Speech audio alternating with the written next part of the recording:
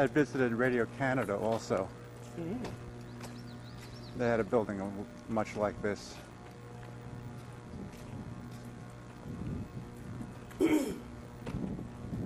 Yeah, this for, oh gosh, 20 years just sat here open with the wind blowing under it. And gave us a real fit right, right at the point of freezing. And the temperature was just about freezing. All this stuff is, these cylinders are air actuated. And of course, the air would, uh, you get the moisture in there that would freeze. And uh, it would cause the uh, air cylinders to leak. Have to come out and turn the air off, let them stop, and then turn the air back on. But uh, each of these has got uh, two air cylinders here. There's one set 45 degree angle, one set uh, vertical. And it takes two of those. They break the, bar, the lines for the transmitter runs across the top, all the way down to the back end. The lines for the antenna run across under them. I see. And then this is a, a switch arm that uh, breaks the upper line and drops it down, breaks the bottom line and moves it up, and then there's a little jumper piece that connects the two so that we can theoretically put any antenna onto any transmitter. So those are what air air operated? Air operated. Those pistons like? They're little, Oh yeah, I little, uh, see it. Rams. And the switches are actually above the ceiling? The switches are up in the ductwork there. oh, in the ductwork. That's, that's actually uh, duct uh, channels through there. That, uh, Oh, I see. I see the ductwork. and uh, it's all uh, aluminum panel so that uh, it acts like a great big uh, uh, twin coax, I guess you would call it. It's, it's, it's a ductwork. See, those are the transmitter numbers.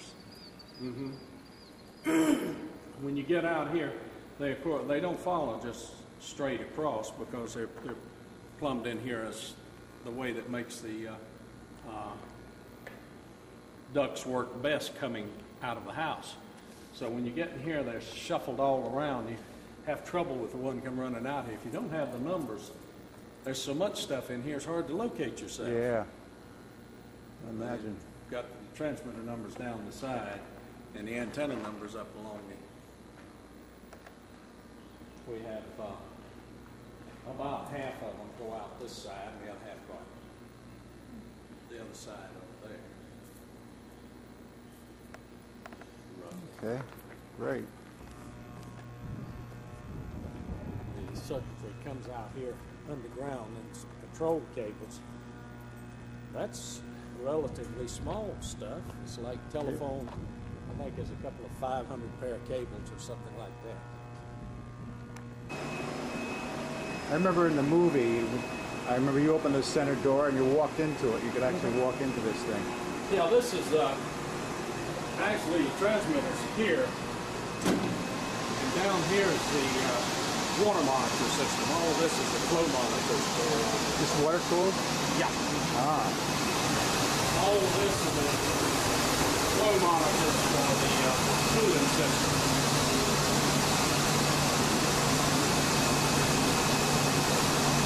Running now? No, no, it's in standby right this minute. And, uh, all that noise, that's the water going through it? oh, now? yeah, the water's running through it. Coleman's room, the water's running through it. We run the water through it. Unless we take it down to work on it, then water runs through it uh, 24 hours a day.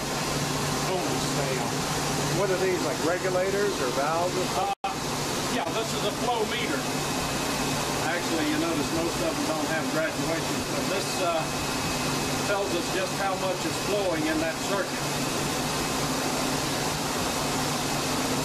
We've got one here that's a constant source of problems. You'll notice it just is above the, Really? the line, and uh, every so often we have to go in there and blow the residue out of the, out of the uh, line to get that back up. Because it will shut the transmitter down. I can say the wiggling around a little bit.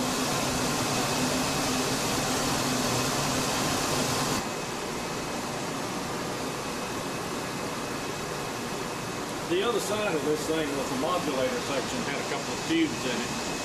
And since we went with the solid state modulator, that's just a couple of big empty cabinets. Is that right? Mm-hmm.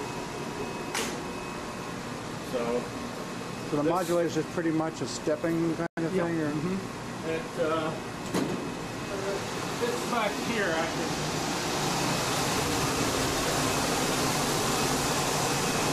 Back in the power a- Yeah, I, I have that problem too. We got, uh, there's 48 supplies. And each of these supplies is, uh, uh, about a thousand volts. And they're constantly switching on and off. That's a,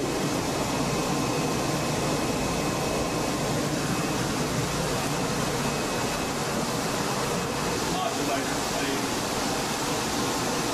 they're very efficient. More efficient than even the pulse width modulator because you don't have that extra fuse and put on the line. And uh, they're pretty much, uh, they- they've been one of the better things that's been done. You've got 48 supplies. The little LEDs here show the status, status of the supplies. And what happens, they switch, when you tell it to come up, it starts switching on supplies until it gets all it wants. Then it starts switching one off and one on, one off, one on, and, and cycles all the way through them.